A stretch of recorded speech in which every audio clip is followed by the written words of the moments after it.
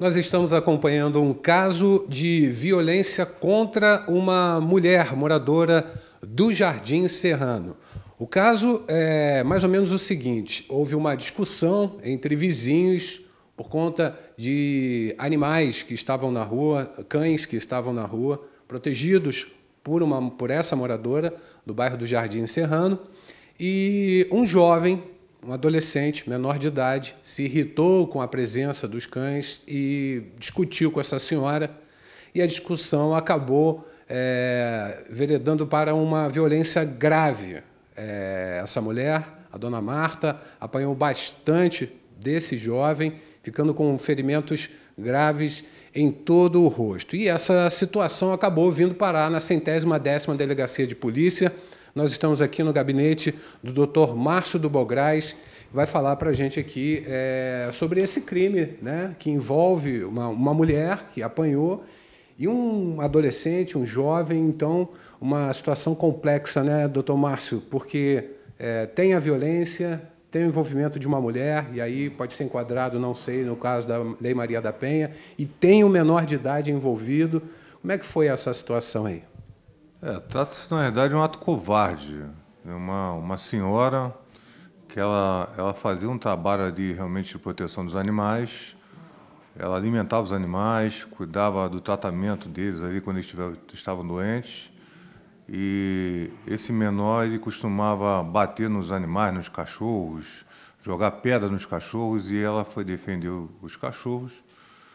E começou uma discussão e ele agrediu ela caiu e ele deu vários socos, e nós acreditamos também chutes, no rosto dessa senhora.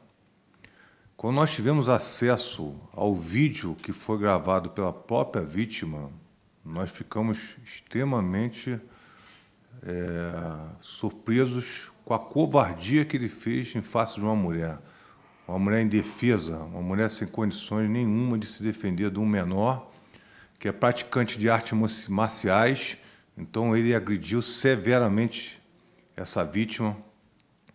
Ela teve várias fraturas, quebrou o nariz, quebrou o maxilar. É, ontem ela esteve aqui na delegacia para fazer um novo registro de ameaça, porque ela, é, num ato corajoso de denunciar e permitir que, com as informações que ela prestou, em sede de hospital, porque nós fizemos oitiva nela no hospital, porque ela estava internada por vários dias. Foi possível pedir a prisão desse menor. Nós viemos encontrar, então, a vítima dessa agressão terrível e covarde, a dona Marta, moradora aqui do Jardim Serrano há muito tempo já, né, dona Marta?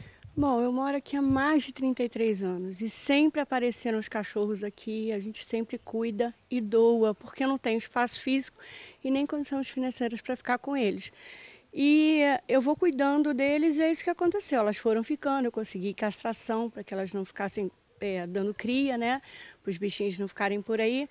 E de oito a seis, seis, oito meses para cá, eu tenho passado um verdadeiro inferno, porque o menino ele paralisou a amarelinha do pescoço para baixo. Alegando que o cachorro tinha atacado, atacado ele? Atacado, alegando que o cachorro ataca. Né? Mas como vocês viram, vocês chegaram aí, eles são inofensivos. Então, alegou que tá. Aí ele deu uma cacetada nela, ela foi parar ali, ficou chorando. E eu fiquei logo desesperada. Meu filho levou na veterinária, enfim. Logo depois desse acidente, ele fez um buraco gratuitamente na barriguinha da preta com uma pedra, ela nem latiu para ele. Tem um relato de uma criança que contou que ela nem latiu. Quer dizer, a agressão então, gratuita é contra os é, animais, né? É, e a, a, acabou que, como eu comecei a cobrar dele, falando que eu ia colocar ele atrás das grades, porque isso é crime, uhum. né? Ele começou a implicar. Então, ele já fazia já no intuito de me provocar. Então. Ele disse para mim, ele jogou uma pedra aqui dentro. Eu disse para ele que ia acabar batendo na cabeça do meu filho, que é microcefálico.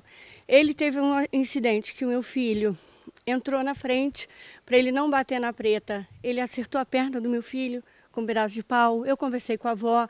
A avó pediu, pelo amor de Deus, para mim não denunciar. O que aconteceu nesse último dia? Ele tinha dito que ia me matar e matava os meus cachorros e que ele não pagaria porque ele só tem 17 anos.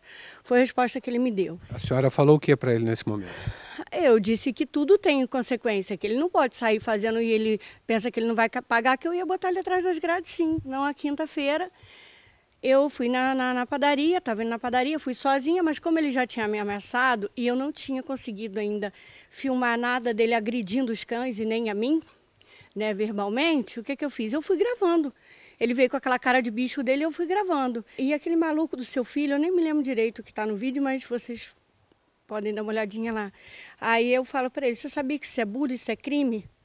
Eu falei para ele. Aí você, eu falei, se olha no espelho, você não chega nem aos pés dos meus, do meu filho. Quando eu falei isso, é verdade. O meu filho é a criança mais pura e maravilhosa que eu conheço. Entendeu? Então foi nesse intuito. Aí ele veio, vou te matar de porrada. E ele começou, piranha, não sei o quê. Eu me, eu me recordo de um soco que ele me deu aqui, que ele abriu o meu supercílio. E me recordo desse lado aqui, que devido às agressões que eu tive, porque eu tive múltiplas fraturas no, no, na face, e ainda um coágulo né, no lado superior, frontal superior esquerdo, que provavelmente ele, ele é, efetuou vários socos, né? Dá para ver pelas marcas, eu tenho marcas antes da cirurgia e depois das cirurgias. Ele tentou me matar, foi uma tentativa de homicídio, porque em nenhum momento ele me agrediu em outra parte, eu não tenho um dente quebrado né? Ele atingiu a minha cabeça. Aí eu fui lá na delegacia, fui super bem atendida. Na mesma hora o rapaz é, disponibilizou uma patrulha para vir aqui em cima, um carro da polícia para vir aqui em cima, e eu fui direto para o UPA. E lá eles viram as fraturas e me encaminharam para o HCT e eu fiquei sete dias internada. Assim que o mandado de apreensão desse menor foi concedido pela Justiça pela Vara da Infância e Juventude, nós efetuamos a apreensão desse menor. Então, é, serve de alerta que as pessoas têm que respeitar o direito das outras, independentemente do motivo que seja. Você não pode pegar uma pessoa indefesa e agredir severamente usando simplesmente do artifício de você ter conhecimento de artes marciais.